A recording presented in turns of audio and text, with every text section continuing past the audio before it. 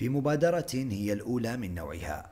قدمت إحدى الكنائس المسيحية في الولايات المتحدة الأمريكية معونة غذائية لثلاثة آلاف عائلة في الموصل حاملة بذلك رسالة محبة وسلام لمدينة تعد رمزا للتعايش السلمي والديني بين مكوناتها. صراحة أكيد أول غاية هي أنه نعلن للأخوة المسلمين إحنا نحبهم والكنيسة تحبهم ويسوع يحبهم. وإحنا أخوة في الإنسانية أكيد ونشاركهم معاناتهم وأفراحهم.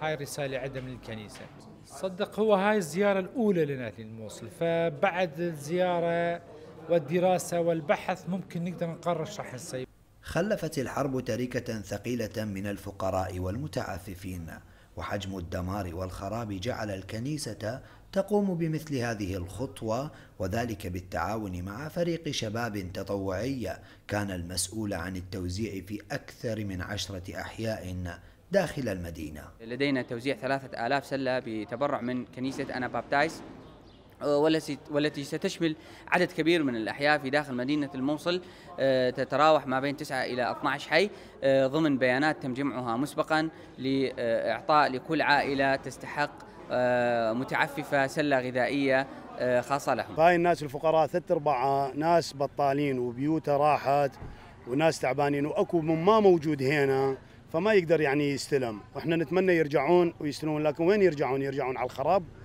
وبحسب آخر الإحصائيات الرسمية فإن نسب البطالة في نينوى تجاوزت 40% وهنالك قرابة مليوني إنسان يعيشون تحت خط الفقر.